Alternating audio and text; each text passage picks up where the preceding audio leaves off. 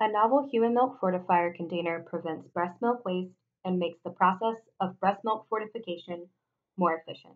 A study conducted by principal investigator Amy Gates, neonatal dietitian from Augusta University, and co investigator myself, Bethany Hodges, neonatal dietitian from Bronson Children's Hospital.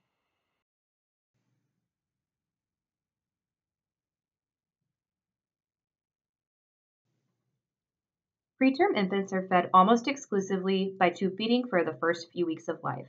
The standard of care for preterm infant feeding is breast milk, either maternal or donor milk.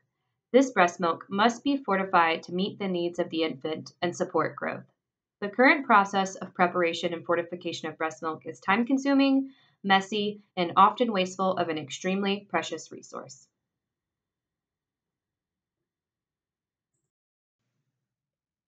The objective of our study was to evaluate this time-consuming, multi-step process.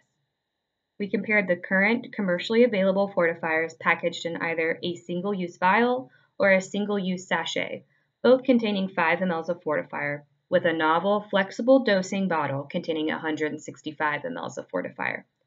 We evaluated preparation time, milk waste, and steps needed to prepare.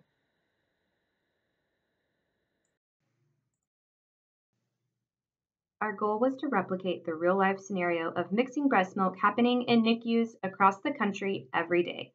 The study was carried out at two separate facilities with identical preparation, setup, and standard instruction forms.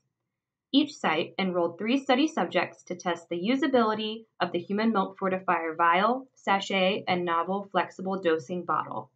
The subjects consisted of two trained breast milk preparation technicians and one novice at each site for a total of six subjects. These subjects performed the milk preparation individually with only the investigator present.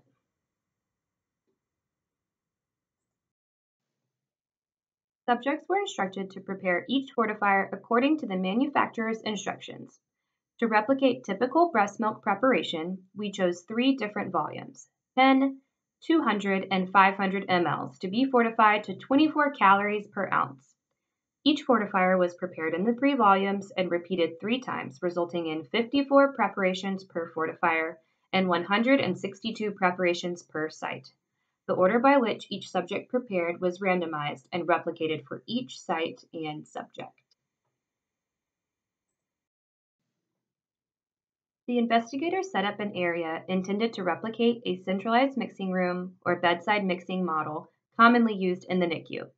Instructions for preparation were read to the subjects. Subjects then selected instructions for mixing, and the investigator began timing. Subjects gathered supplies and prepared the fortified milk. Time was then stopped. This process was repeated until all 27 preparations were complete. Now, Amy Gates, primary investigator, will discuss the outcomes. Thank you, Bethany. First, let's define our outcomes. We defined milk waste as the volume of milk left over once the volume of breast milk needed was prepared. For example, if 10 mLs of fortified breast milk is needed, you would add one sachet or packet of fortifier to 25 mLs of breast milk, resulting in 30 mLs of breast milk. The waste in this scenario would be 20 mLs.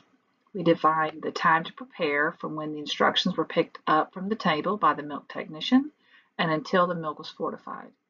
We defined supplies used as the total number of bottles, packets of fortifier, measuring equipment that were needed to prepare the milk. Supplies were standardized for each volume and each product. We found a statistically significant difference in all four of our outcome measures. The time to prepare the novel flexible dosing bottle was significantly lower than for the single-use sachet or for the single-use vial.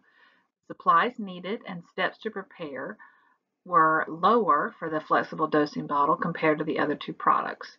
Most strikingly, the volume of milk wasted dropped from 13.5 mLs of milk wasted for the single-use sachet and 13.3 mLs for the single-use vial to only 0.67 mLs for the no novel flexible dosing bottle. The flexible dosing bottle reduced the time needed to prepare fortified breast milk by 37%. and the steps needed to prepare by 61%. The milk waste was dramatically reduced by 97%.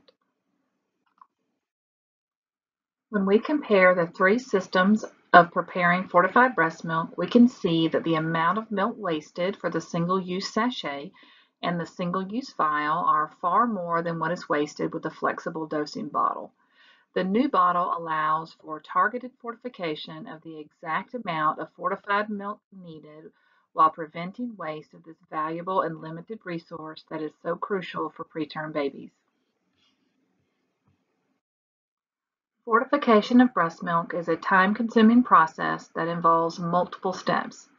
The risk of cross-contamination or error increases with each step taken. Reducing the number of steps could potentially reduce the risk of error and fatigue associated with opening multiple individual packs of human milk fortifier. Time is a valuable resource that must be utilized appropriately. In a busy nursery like mine, a 37% reduction in time to prepare breast milk equates to at least one hour per shift. A novel multi-use bottle for breast milk preparation reduces the waste of breast milk. By reducing the number of steps needed to prepare fortified breast milk, time needed to prepare this task is significantly reduced. A simple bottle change can prevent breast milk waste and make the process of breast milk fortification more efficient.